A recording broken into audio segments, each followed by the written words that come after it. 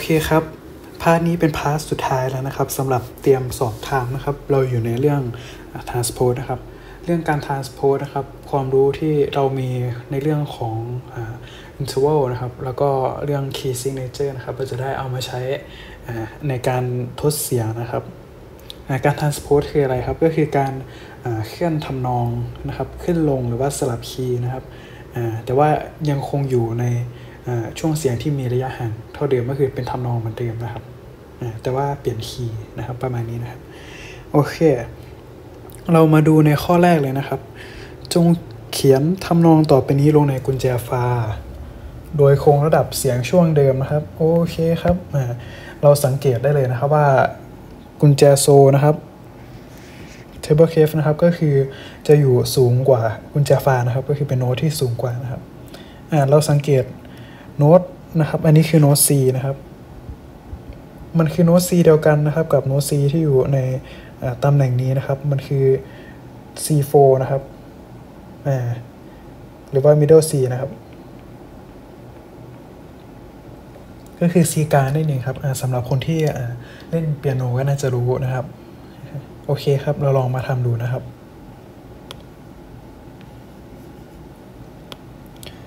อ่า มันเริ่มด้วยโน้ต เรใช่ไหมครับ มันเริ่มด้วยโน้ตเรเราก็เอามาเขียนเลยนะครับ เป็นเรนะครับ ตัวที่ 2 เป็นโดนะครับ ก็เขียนไปแบบนี้นะครับ เราก็เขียนทุกตัวนะครับ อ่า เป็นช่วงเสียงเดิมนะครับ เป็นเสียงเดียวกันเลยนะครับ ในออกเทปนี้นะครับ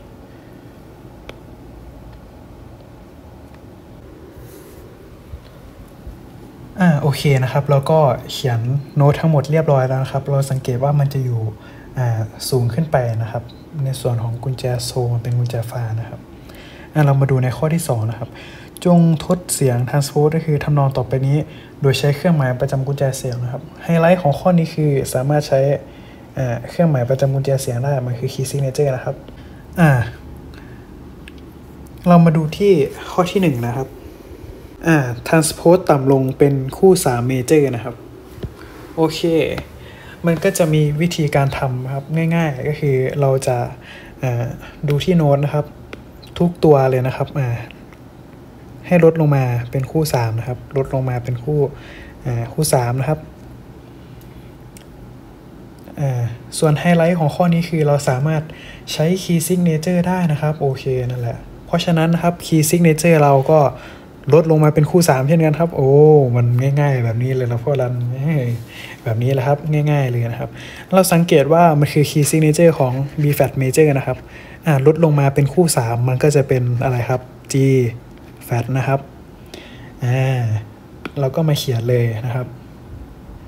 เขียนเป็นกุญแจโซไปก่อนนะครับ แล้วเราก็เขียน key signature ไปนะครับอ่า G flat major นะครับ ปึ๊บปึ๊บอ่าประมาณนี้นะครับ ส่วนทำนองนะครับ เราก็เขียนลงมาเป็นคู่3นะครับอ่าจากโดเป็นลานะครับอ่าจากอ่าลาเป็นฟานะครับ ก็เขียนไปเลยนะครับโอเคพอเราเขียนครบทุกตัวนะครับ เรามาดูในส่วนของห้องที่2นะครับอ่าข้อนี้ยังไม่เสร็จนะครับ เราสังเกตว่านะครับอ่าโน้ต ตัวแรกนะครับของห้องที่ 2 แล้วก็โน้ตตัวนี้นะครับ ที่มันมีเครื่องหมาย accidental นะครับ เราก็ต้องมาใส่ในโน้ตด้านล่างเช่นกันนะครับเราใส่เป็นอะไรล่ะครับคนนี้เราก็มาดูนะครับว่าในด้านบนนะครับ key signature B flat นะครับ ก็คือในโน้ต E นะครับ มันเป็น E flat นะครับ มันเลยใส่เป็น E natural เข้ามานะครับ เพื่อเพิ่มขึ้นเครื่องเสียงนะครับด้านล่างเช่นกันครับ เราก็มาดูนะครับ ด้านล่างเป็นโน้ตโดนะครับ ซึ่งโน้ตโดก็เป็นแฟตนะครับใน key signature ของ G flat major นะครับ เราจึงใส่เป็น natural เข้าไปนะครับ ส่วนโน้ตมีนะครับ มีแฟตด้านล่างก็ติดแฟตเช่นกันนะครับเราก็ใส่เป็นโน้ต natural นะครับ เพื่อเพิ่มขึ้นไปหนึ่งเซมิโทนเหมือนด้านบนนะครับ ข้อนี้ก็เป็นอันเรียบร้อยแล้วครับ เป็นอะไรที่ง่าย ๆนะครับ มาดูข้อต่อไปกันนะครับอ่า transpose สูงขึ้นเป็น E flat major นะครับอ่าโอเคนะครับทำไงครับคนนี้อ่าเขาบอกแล้วว่า E flat major นะครับ แล้วก็ใส่ไปเลยครับ key signature ของ E flat major นะครับายๆแบบนี้เลยละลันเลยง่าย ๆ แบบนี้เลย เราสังเกตว่า e fat major มันจะติดแฟตมากกว่า b fat major หนึ่งตัวนะครับ ก็คือตัวนี้นะครับ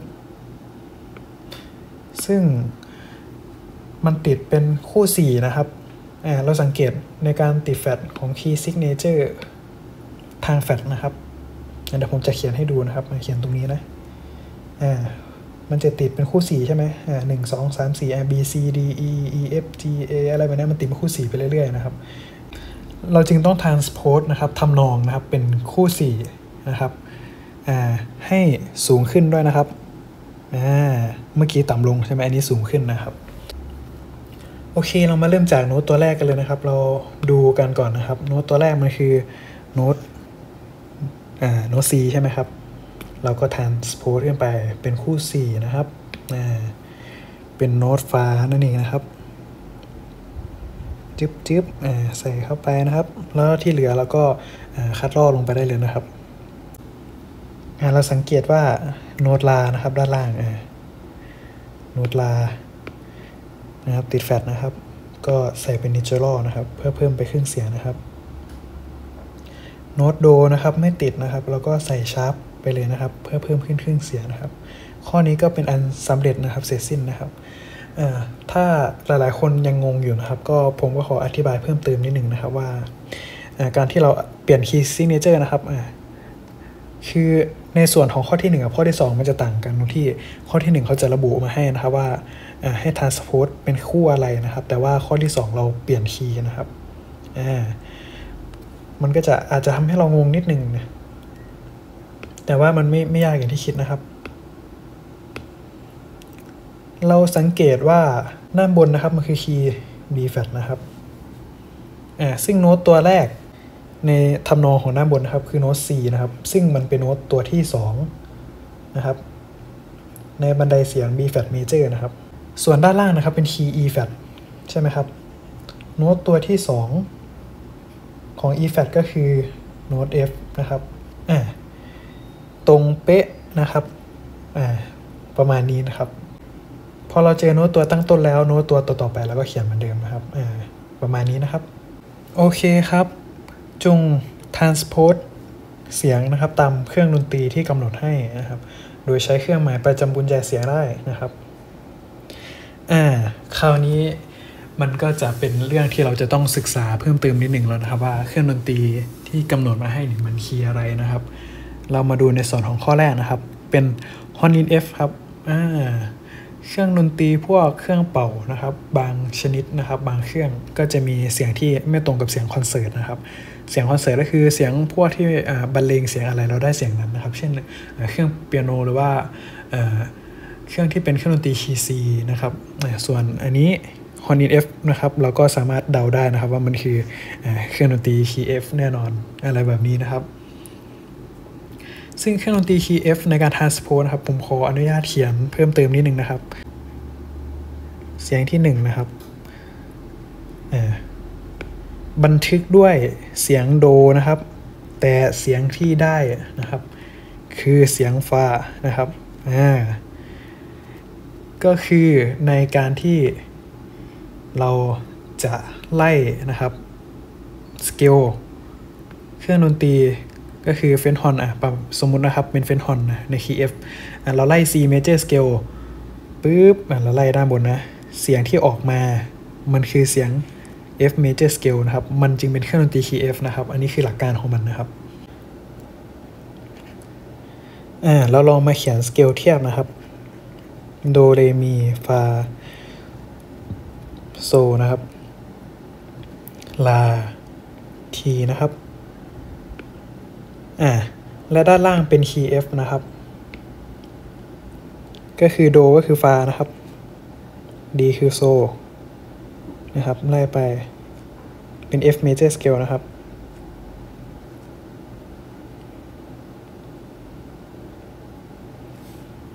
อ่า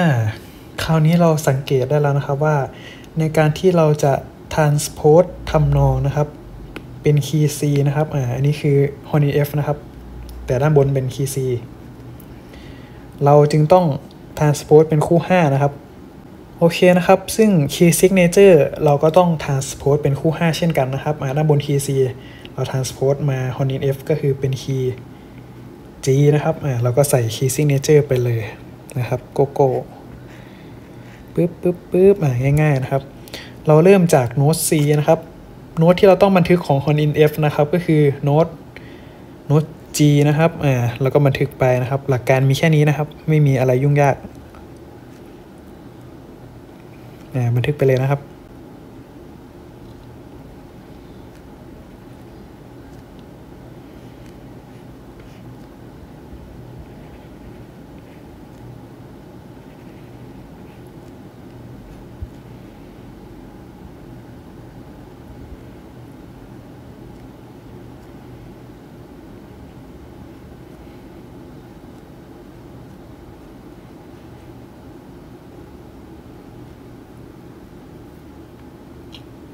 ข้อแรกก็เป็นอันเสร็จนะครับ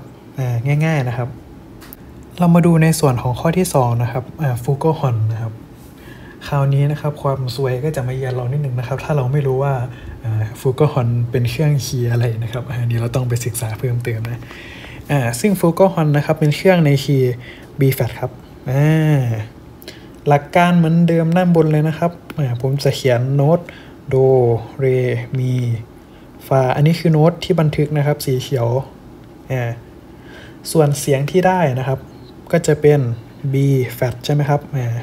C D เพราะมันคือเครื่องคีย์ B flat แล้วเขียนเป็น B flat major scale นะอ่า E flat F G A แบบนี้นะครับอ่าเราสังเกตว่าเราหาโน้ต C นะครับ อันนี้คือ B flat นะครับอ่าโน้ต C อยู่นี่ปึ๊บ อ่ามันเป็นคู่สองนะครับ จาก B f a t นะครับ จากโน้ตตัวแรกของมันอ่าเพราะฉะนั้นนะครับ key signature นะครับ เราก็ต้อง transpose สูงขึ้นเหมือนกันนะครับ เป็นคู่2เราจึงต้องใช้เป็น key signature ใน key D นะครับอ่าประมาณนี้นะครับหลักการเหมือนกันกับข้อ Honin F เลยนะครับเราก็เขียน key signature ไปครับ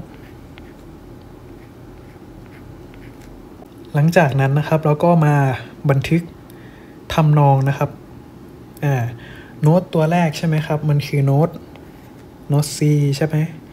อ่าเราก็บันทึกเป็นคู่ 2 นะครับ ก็ใส่โน้ต D เข้าไปนะครับอ่าเป็นคู่ 2 หมดเลยนะอ่า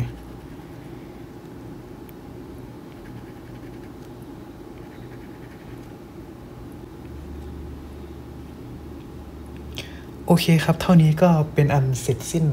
ในการทำข้อสอบแล้วนะครับเรื่องของการ transpose นะครับก็เป็นเรื่องที่ต้องใช้ความเข้าใจนิดนึงนะครับและเป็นเรื่องที่ต่อยอดในการศึกษาทฤษฎีดนตรีในระดับที่สูงขึ้นไปนะครับ ซึ่งเป็นเรื่องที่ค่อนข้างจะยากนิดนึงนะครับ แต่ว่าก็ไม่ยากเกินใจนะครับสำหรับคลิปนี้นะครับ ผมก็ขอขอบคุณทุกคนที่เข้ามารับชมนะครับ แล้วก็ขอให้พี่ๆน้องๆที่จะไปสอบนะครับ ให้สอบได้นะครับ แล้วก็ใครสนใจเรียนพิเศษนะครับ ก็สามารถติดต่อเข้ามาได้นะครับ ที่ Facebook Fanpage The Music Alchemist นะครับสำหรับคลิปนี้ผมก็ต้องขอลาไปก่อนนะครับ สวัสดีครับ